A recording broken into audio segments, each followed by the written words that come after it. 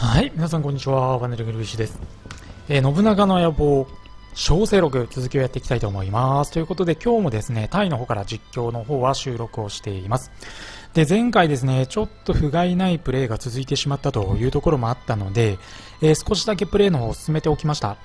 えっと、まあ、浜松城を取ってですね、えーその後、観音寺、ここも取りました。まあ、後の安土城が立つところですね。で、現在は、いわゆる浅井、小谷城の浅井と、あとは、えー、稲葉山城、斎藤ですね。美濃の斎藤と同盟関係にあるという状況まで作り出しましたので、えー今回はいよいよ総仕上げということで、二条城、こちらを落としていきたいなというふうに思っています。では早速、プレイを続けていきましょう。まああのプレイする前は二条城を取ったら終わりっていうような感じじゃなく、まあ、普通にプレイを切りがいいところまでやりますっていうようなことでね、お話をしていた部分もあったかなと思うんですけど、思いのほか結構時間が、えーかかる内容になってまして、まあの飛ばしたり編集しながらっていうようなね、えーところもあるにはあるんですが、えーなかなか進みもよろしくないというところもあるので、一応二条城取ったら、一旦終了にしていこうかなというふうに思っています。で今、忍者の修行が来たので、まあ、刑事に忍術の修行をさせに行きましょう。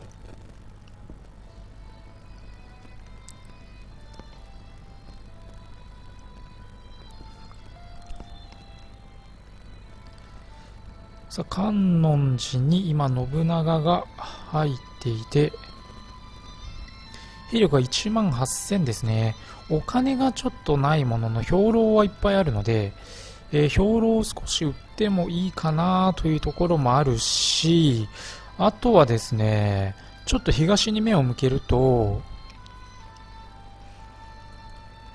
今この駿府が結構戦いの場になりつつあるというところもあるので、まあ、駿府に向けて兵を出していく武将の数がちょっと足りないかな駿府は。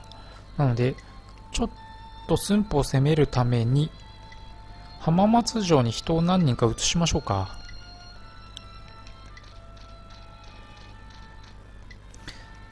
この辺りは結構委任をしてしまっている部分でもあるので、まあ、コンピューターの裁量に任せているというところは正直あるんですけどね。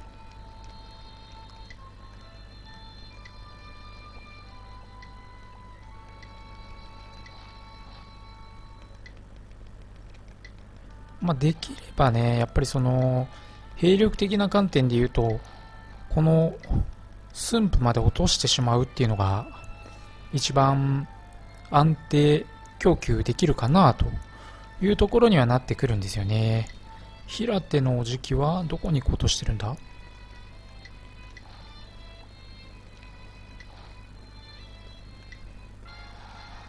なるほど、そこが武田の領地だったんだな。斎藤の領地だったらちょっとね占領はできないかなと思ったんですが。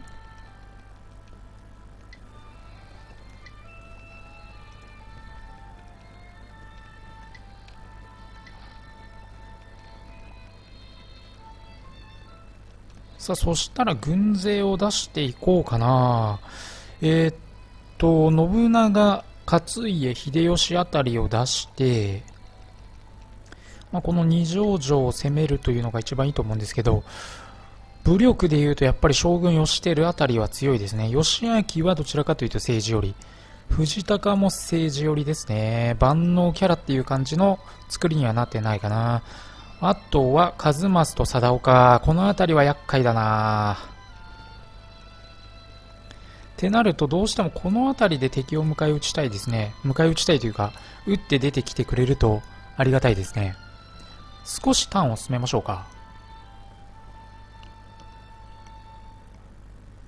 できればね寸法をしっかりおここで浅井から何か来ましたね。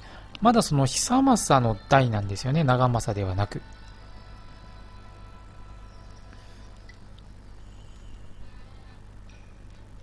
あ単なる貢ぎ物か。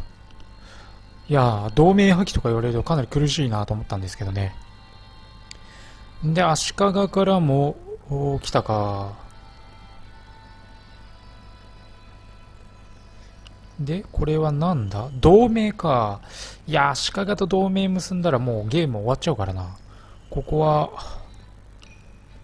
拒否しましょう。二条城は力攻めで落とします。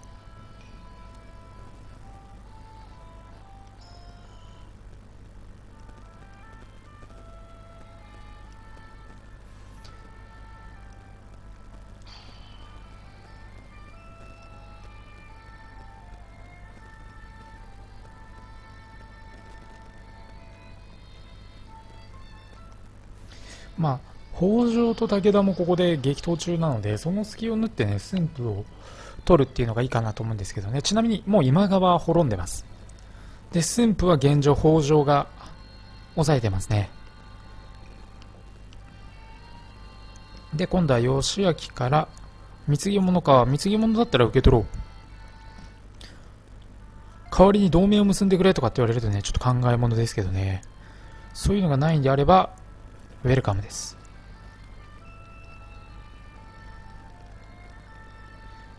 んで駿府の方の動向がちょっと気になるな。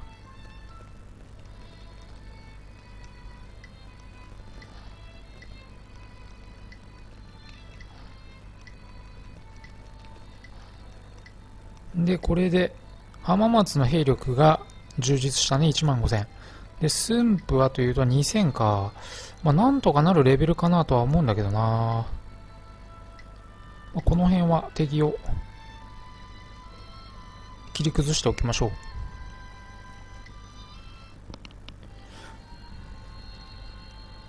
う。で小谷から同盟の使者。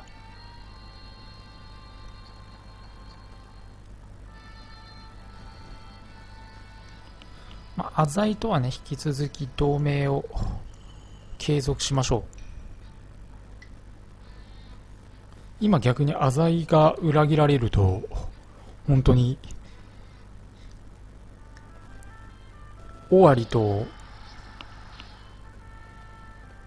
観音寺が分断されてしまいますからね。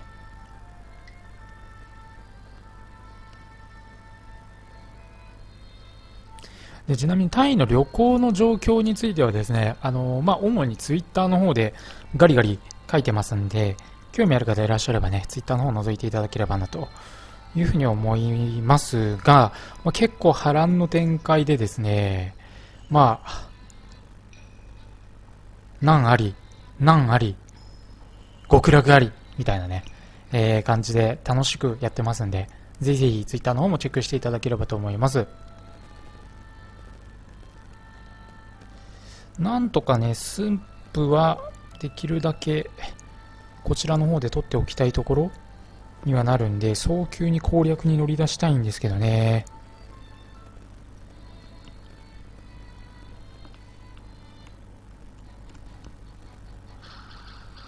これは平手隊と武田隊か。星名と平手。まあ、かなり愚鈍な戦いになりそうですね。どちらも適性が C と D っていう。兵力的には平手のおじきの方があるけど、戦闘能力が平手は低すぎるな。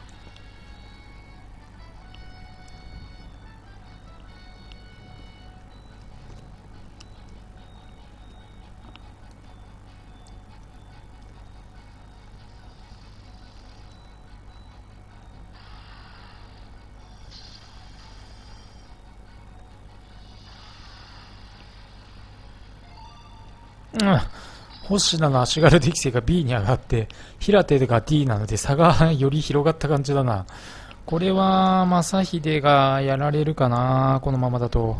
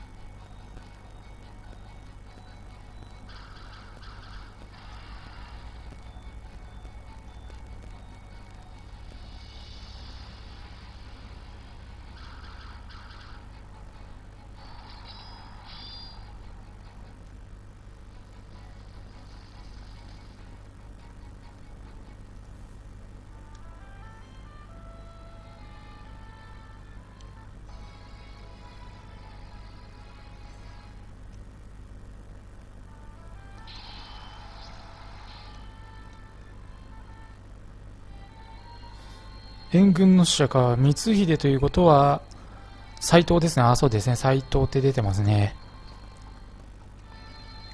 で、斎藤はどこを攻めたいんだ？あるいはどこから攻められてるんだ？まあ、斎藤からの要請は受けましょう。まあ、どこ攻めかにもよりますけどね。まあ、斎藤が攻めるってなると、おそらく武田かなとは思いますけどね。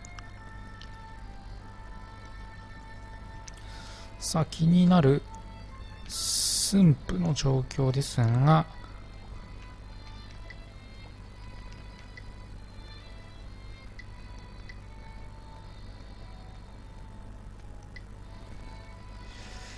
出陣をさせていきましょうか。軍勢を出していきましょう。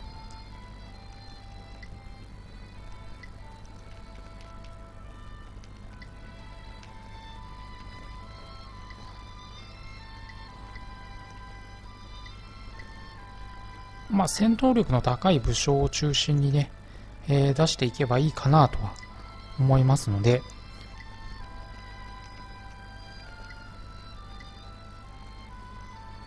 あとは侍大将クラスを入れていくかな森。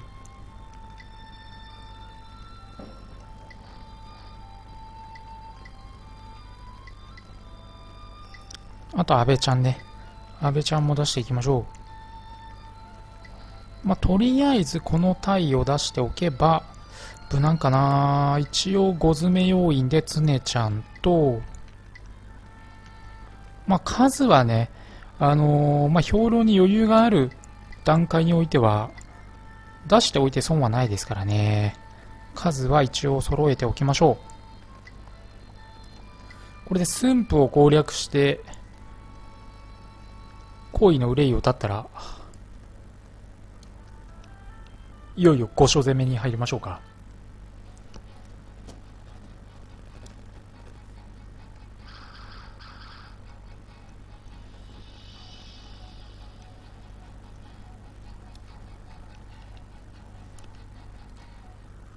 佐久間の本陣があっさりやられたな。しかも北条に登用されてるし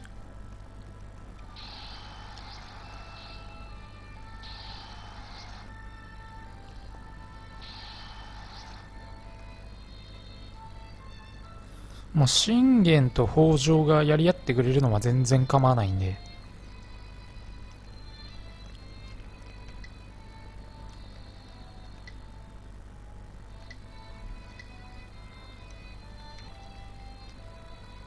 大筒も買えなくはないけどお金がないのか。そしたらちょっと兵糧を売って大筒を買いますか。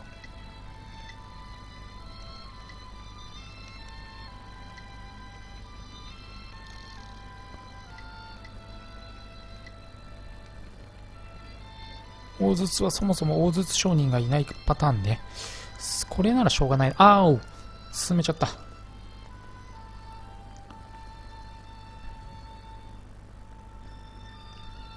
お、これは3本の矢の話かな？ちょっと見ておきましょうね。じゃあこれは。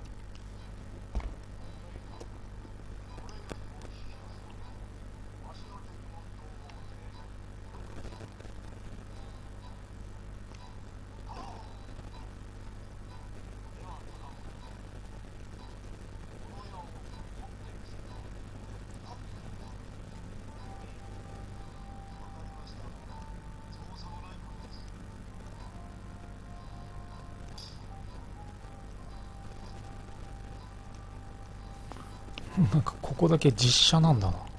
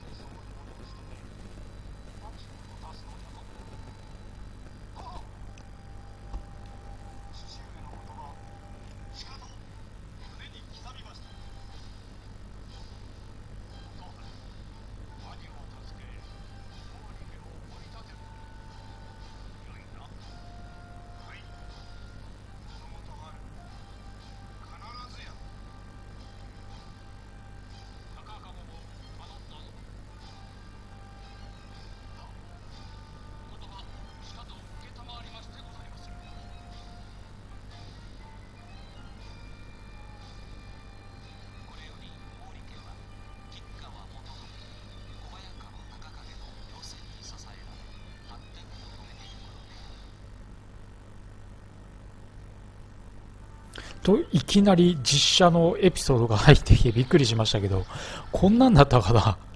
まあ、いずれにしても、えー、先へと進んでいきましょう。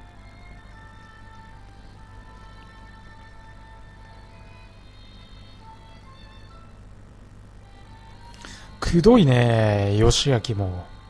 信長を口説くのに、金985を持ってきたか。まあ、ここは拒否ですね、拒否。さあ、そろそろ鬱陶しいので、じゃあ、足利将軍家打倒の兵を挙げますか。で、その前に例によって、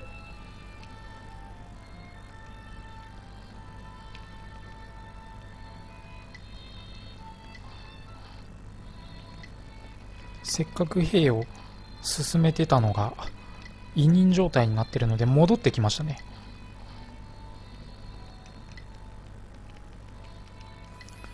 彼らはどこへ行こうとしていたんだろうかちょっとねそれも興味はあるんですけど 今はそれどころじゃないというか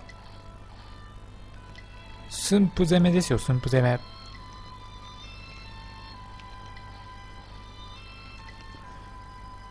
んで、並行して、えー、兵を上げていきましょう、こちらも。で、ここに入り込んでるのは？星名の隊か。星名隊は、後輩を平手台でつかせましょう。これで蹴りがつくはずだ。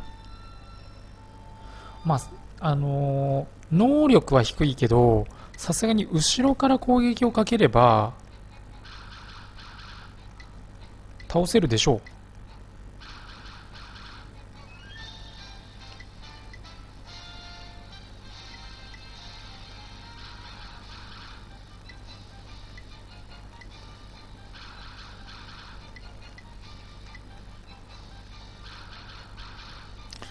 と甘かったかな考えが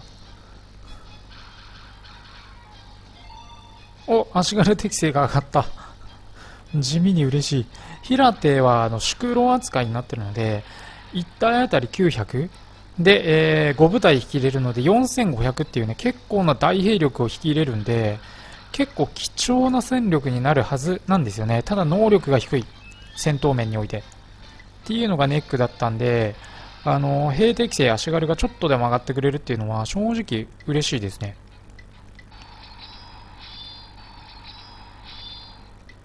さあ、これで蹴りをつけよう。星名隊を破って、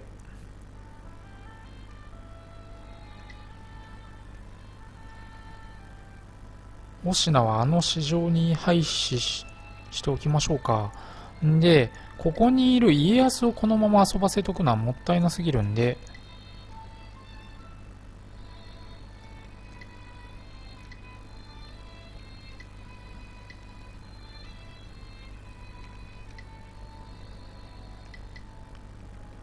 これでいきましょう。で、かつ、信長自ら軍を率いて出陣していきましょう。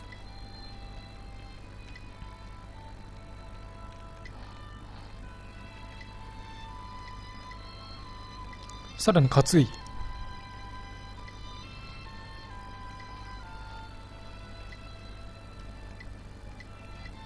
さらに秀吉。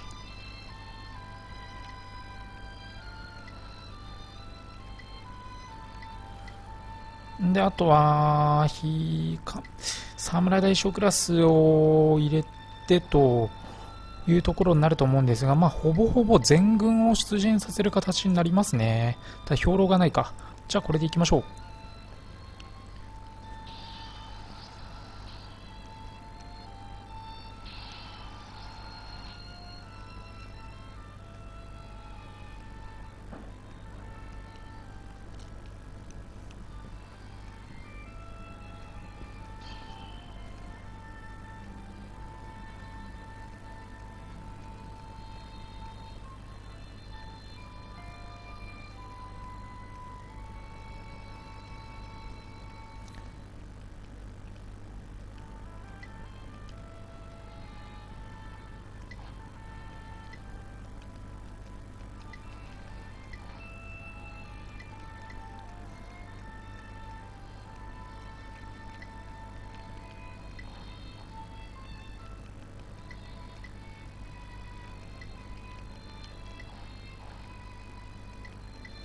よし、これで攻撃隊が出たので、二条城方面には。んで、家康も移動させて二条城の攻略に向かわせましょう。んで、星名は名古屋城に入れて、平手のおじきはこの市場の防衛に当たってもらいましょう。補給もします。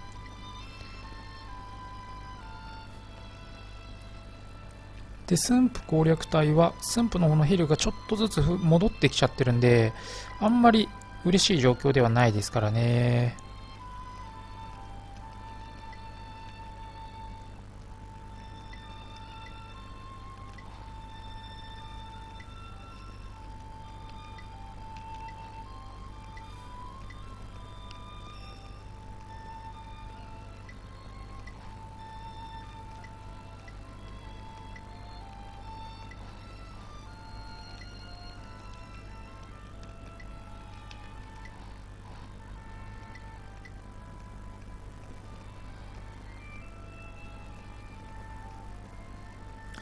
さあ、これでターン送ってか。ちょっと常ちゃんが船に乗ってるんで、あそこに追撃かけられると厳しいかなって感じはするけどな。で、吉輝自ら勝家の攻撃に出てきたか。これはかなり厳しい戦いになるな。まあそもそも吉輝自体が強い上に、1000×5 の5000引いてるんで、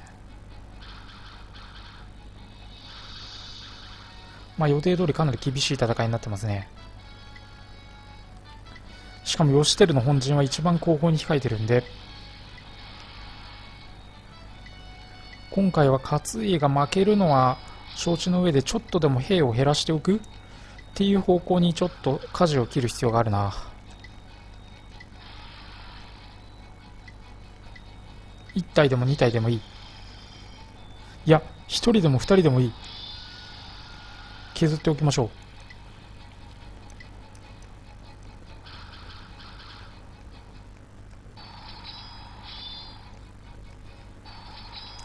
確かに足利義輝の軍強いですね。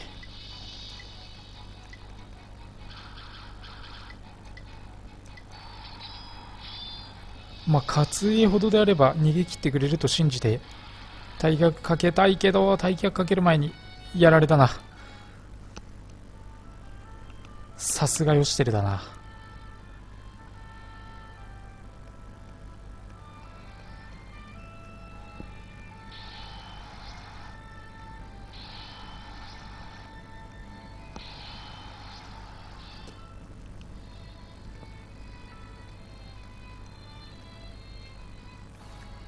兵糧不足に陥ってるのか。家康の軍勢は一旦名古屋城に戻す方が得策ですかね、そうなると。まあ、あの、基金があったから、多少米不足に陥っているという懸念も、まあ、なきにしもあらずでは確かにありますけどね。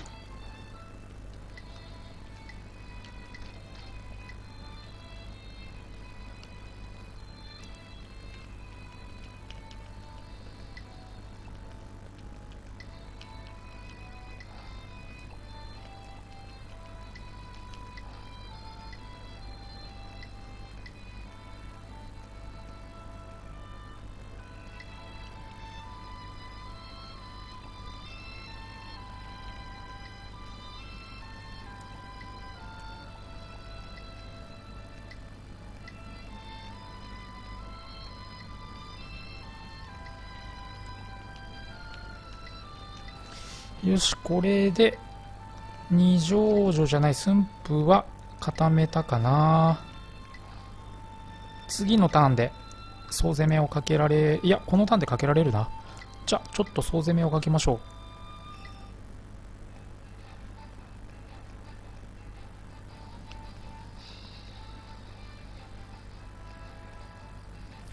攻撃が全滅？全滅？マジか。ああそういうことを元忠一体だけで攻めたのか。いやちょっと目論見がだいぶ外れたな。ちょっとうかつでしたね。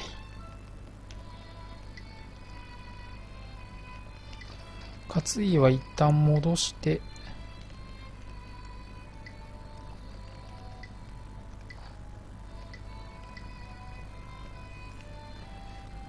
さあ、秀隆で、どうだ？義輝の横っ腹を突き崩せるかどうかというところですけど。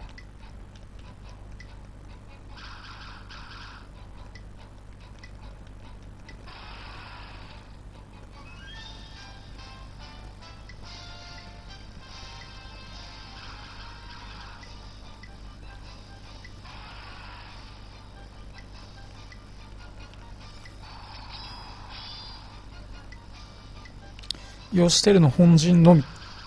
目指しましょう。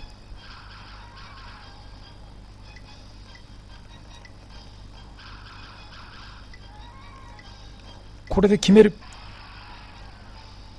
よし。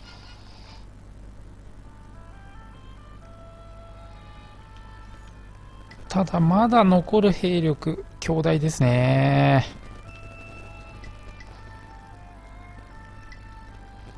で、増援が出せるかというと、兵糧がないか。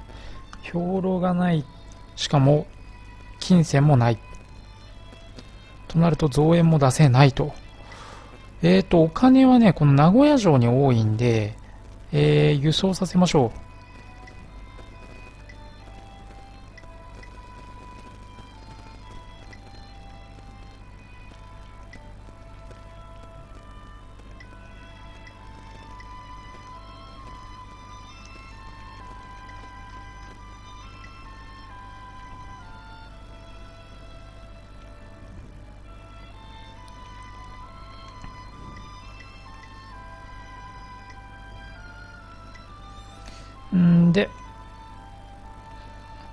浜松から駿府攻めの増援も出しておきましょうね。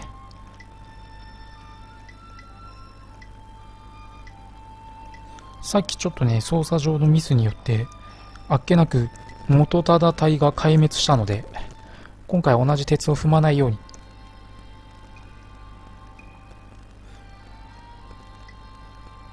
いやー、足利さんはこんな状況でもまだ水着物を送ってきてくれるなんて律儀だな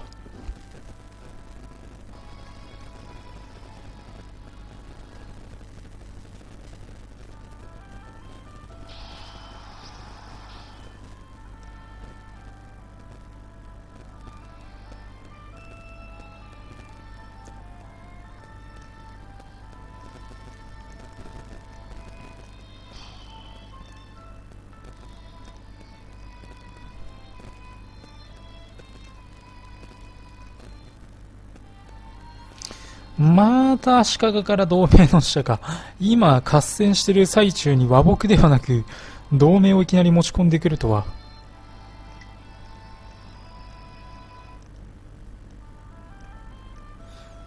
で、早速、ヨシテルが、再び、軍を率いて出てきましたね。いや、ヨシテルマジ強いからな秀吉では多分、話にならない。まあ、現に今、秀吉の一帯が一瞬にしてもみ消されましたけどね。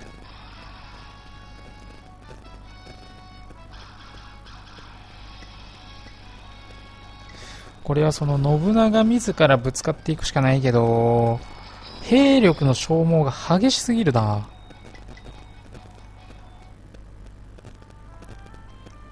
いや危ない。いや、秀吉が捕まったって出たんで、危ないかなと思いましたけど、解放されたか。一旦兵を整えるか、そうなると、一旦兵を引きましょう。まあ、より攻めづらくなりそうですけどね、二条城の守りが硬くなって、撤退戦になります。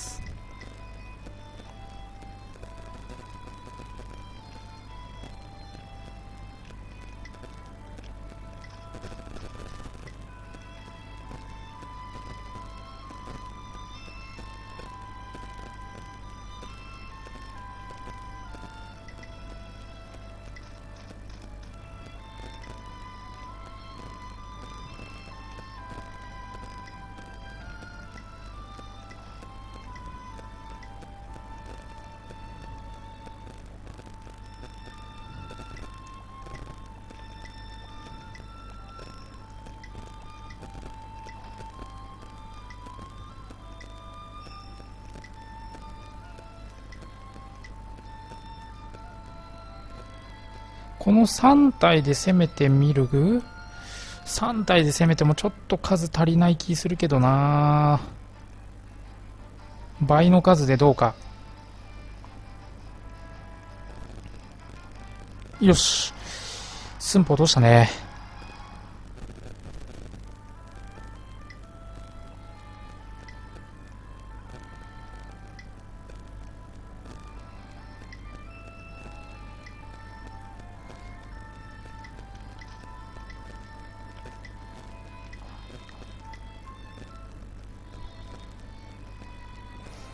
や、すごい戦場になってるなここは。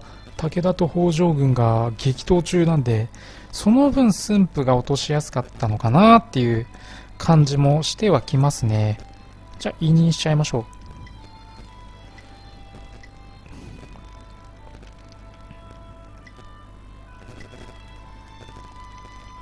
う。んで、浜松の委任状況をちょっと変えて、これを御所に変更しましょう。同じく、名古屋城の目標を御所に変えますと。これででも、一気に、足利家攻略の足がかりができましたね。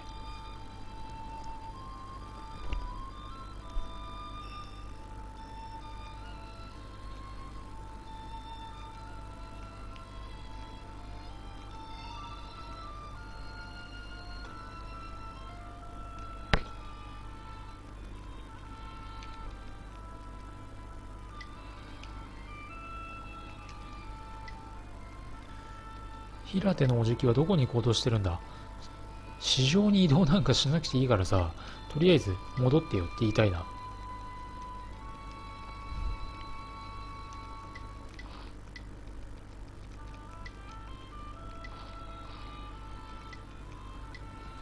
兵糧がちょっと入ってきたか。あとは、えーと、商人が入ってきたら金で兵糧を買えば、なんとか持ちこたえられそうですね。この春。迎えるまでは。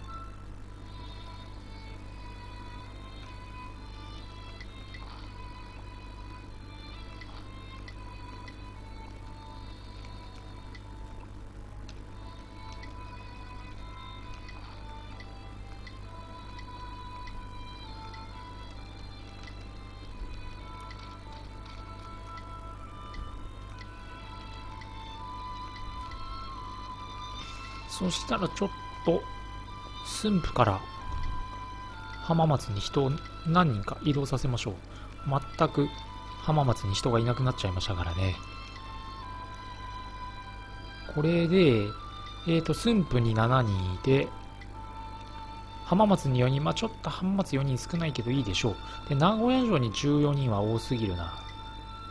で、観音寺に6は逆に少なすぎる最前線なんで。って考えると、前線に人を出していきましょう。まあ、家康とか非常に戦闘面で活躍してくれるので、まあ、家康と、あとは、そうだな正勝。この辺りを出しておけば間違いないかな。さあ、では、いよいよ本当に御所攻めにかかれそうですが、えー、どうしようかな。ちょっと今回は短めですが、キリもいいので、えー、一旦ここで終わりにしてですね、次回こそ本当に、二条城をね、えー、取りに行きたいなというふうに思いますので、今回はここまでにしたいと思います。